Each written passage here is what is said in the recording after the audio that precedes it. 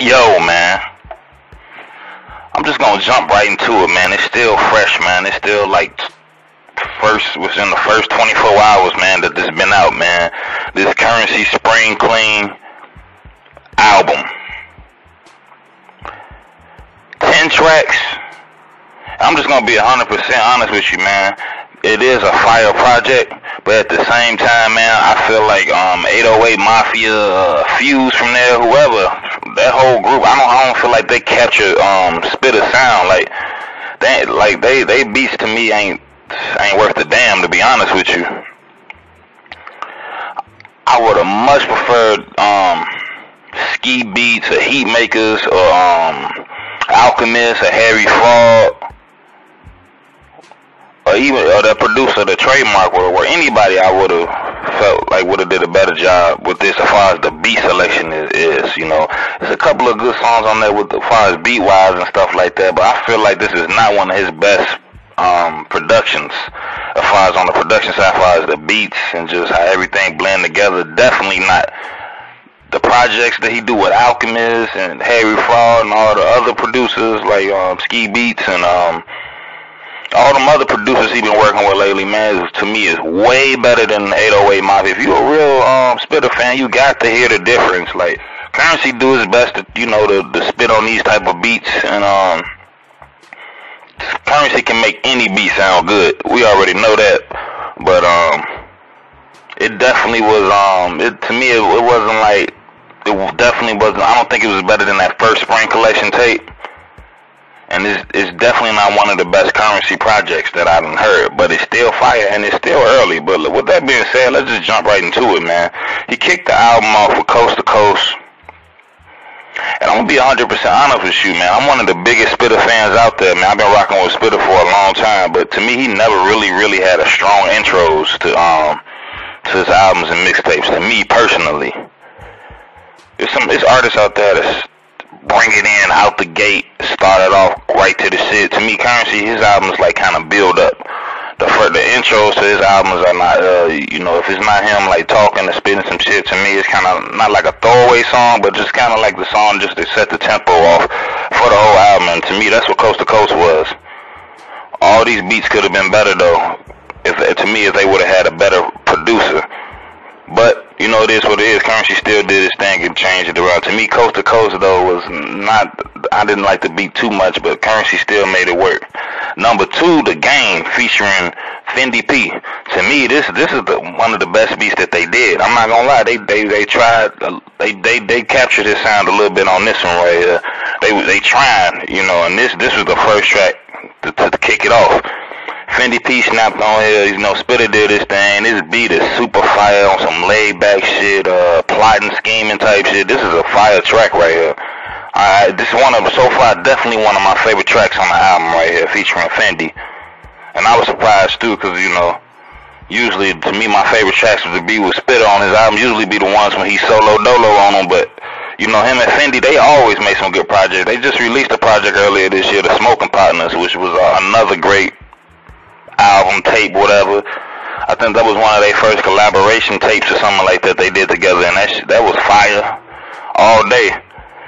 Um, but yeah, this is a fire song. Both of them did their thing on that, and um, when I heard this song, when I first heard this song, it gave me hope for the tape. Like, oh, okay, maybe they can get this together. Maybe they can find Spitta sound. Maybe they can, you know, get the essence of what Curren$y be rapping about and and and and bring it to life with the beats and stuff like that.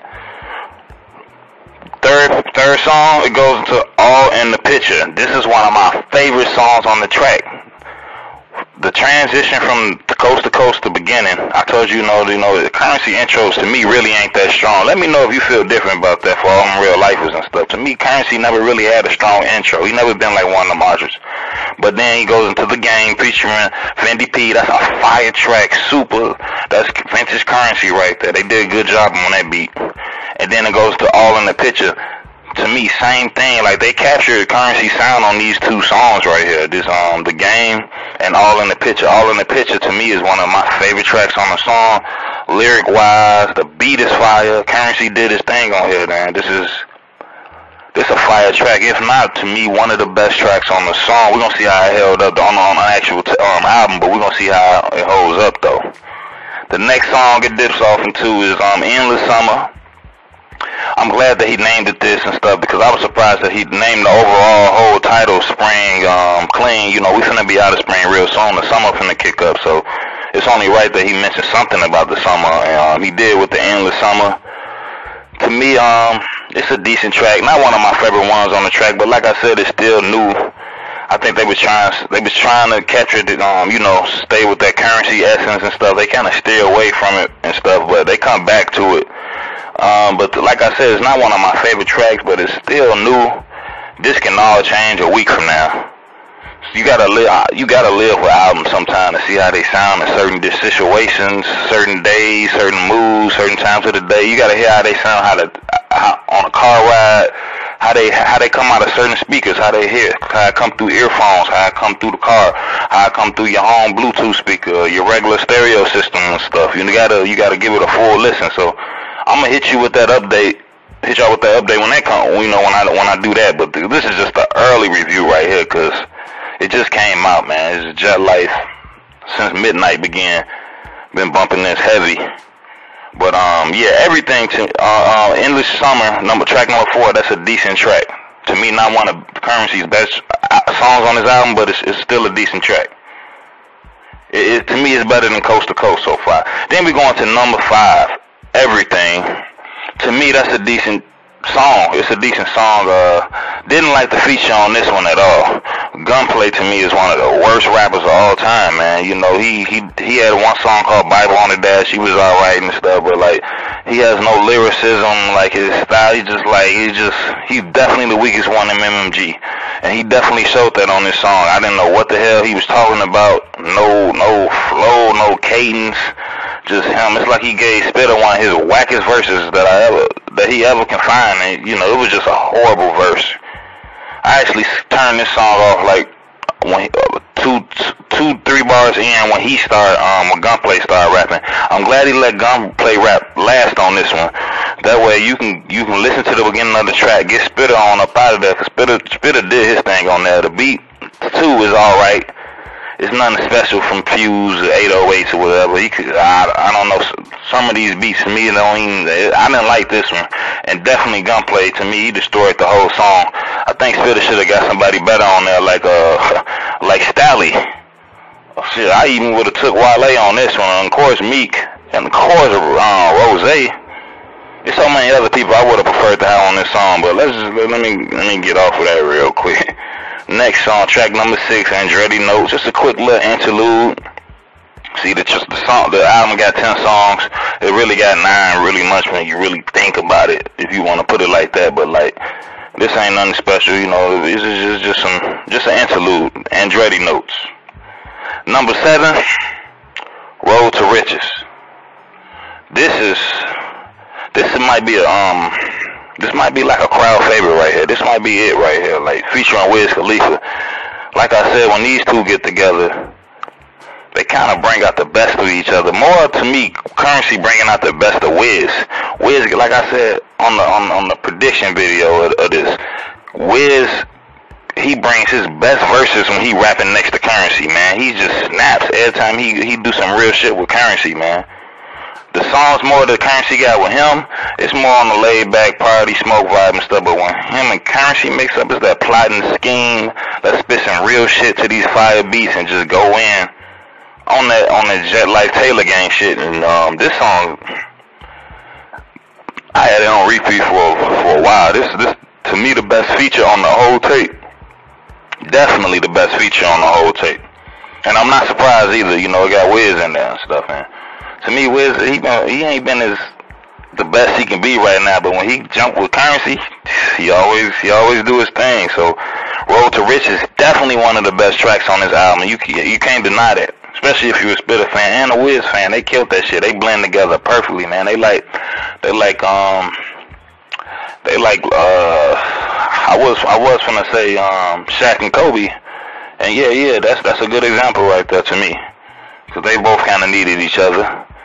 I was gonna say Scottie and Pippen, but that's more like sidekick type of deal, like Batman to me, Robin type shit. But Shaq and Kobe to me is a better um, fit for that. Road to Road to Riches. That was a, that's a classic track in my opinion, instant classic. Let's go on to number eight. I don't want much. I actually like this song. This some real shit. Just listen to Spitta, man. It's one of the realest songs on the album right here. Spitta talking that shit. Talking about the things that's important, man. Talking about the things that's not important. Talking about the things that you just should be on. All you should have on your mind and shit you should have on your daily routine and stuff like Spitta just talking that real life shit. You can learn a lot listening to Spitta, man. Spitta always I wouldn't even consider him a rapper, man. He just a, a dude, a chill dude that drop jewels over beats. That's how I put it. He just give you inspiration, give you um advice over beats. Just spitting real everyday life shit over beats that he that he go through and shit. And you talk about a lot of um, spitting that real shit up on on his album. And um, to me, he just couldn't put the the the whole thing together because it like the beats couldn't stay consistent enough for me. Like it would do like on the Alchemist track, how they be blending together and just the like surprise sounds of the production and the sound effects and everything. None of that was here, but Curren$y, one of the coldest, man. You you Curren$y can drop a, a acapella tape or some pen beats making a beat on a desk and it'll sound good. Ah, I heard Curren$y rap the Golden Panda, everything, man. He done, he done, I heard him rap to a car alarm before. Curren$y can spit to anything. That's why he a legend, man. That's why he the OG, the founder of Jet Life, man. That's real. But yeah, um, I don't want much. That's one of the that's one of the better songs on the album for sure. And then number nine, we go to um, Know 'Em. To me, this is one of the best features on the album as well, man. Uh, featuring T.Y., man. He did his thing on here, man. That's for real. T.Y. did his thing. Son of BG. He always got a good verse, man. Country is in a motherfucker, though. You can definitely tell that he's from New Orleans and and he's from you know that down south, man. He definitely country. All of them country, Curren$y country. All of them got that down south sound in their voice and stuff, but he definitely got it, man. You could just tell with T.Y. be spitting that real shit every time. He one of the youngins up in the Jet Life, man. He holding Jet Life down for the for that newer generation, man. That that that that uh one that late 2015, 16, 17, 2020 shit. Like he finna spit a pretty much passing him the torch for the for the young version of Jet Life right now. He holding it down right now. And he did his thing, man. The the beat, this beat is actually pretty good too. They did it, but this is a pretty good beat right here. I was I was surprised. I thought they was gonna do like another something like they did with the Gunplay song, but I like this beat on here. It's actually pretty good. Going to the final track. One of the tracks I was just off the title alone, I thought it was gonna be one of the best tracks. Black Mirror. That's the final track he chose to close the album with Black Mirror. Very interesting title to me, the song is still registering with me. Still registering. Off is off, off, off first listen is not my favorite song. Definitely not my um. Definitely not the worst song on the track. It's just not. It's just not one of my favorites. But it's still early, man. I probably heard the song maybe five times already. Really listened to it. I'm just. It's just still early, man. The, um, but it's still a decent song. Definitely, um, I will put it in the one of the better songs of the album. To me, the worst song on the album, if if I had to say it had a worst song, would be the song with um. When when I when when I say a Spitta song is uh is worst or bad or something, that's like um.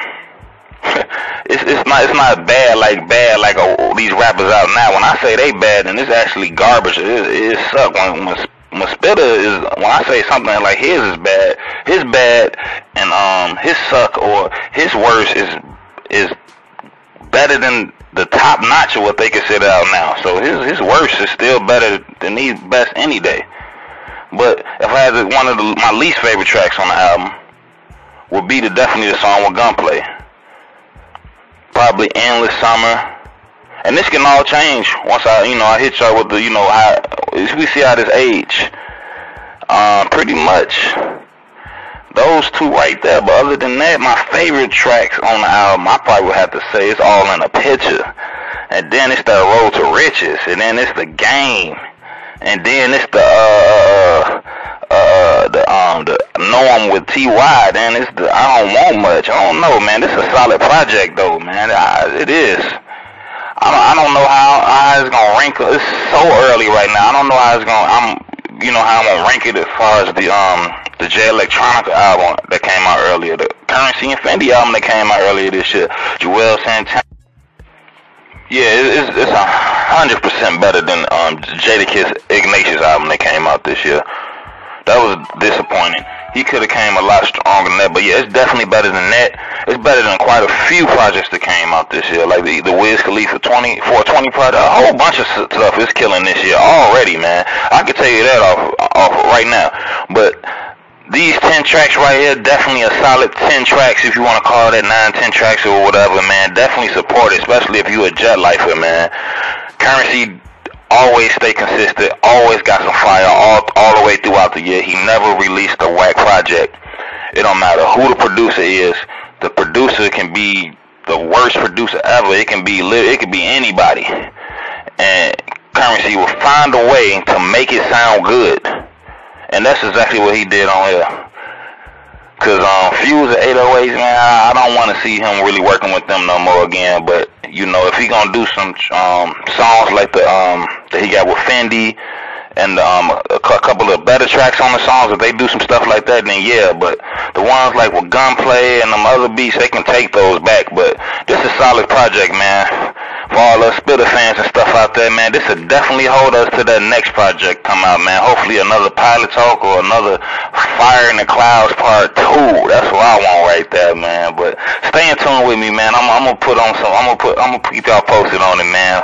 Rock with it, man. Curren$y featuring Fuse at 808 spring clean project, man. Clean up to it, smoke one too, man. Read something to it, or just vibe out to it, man.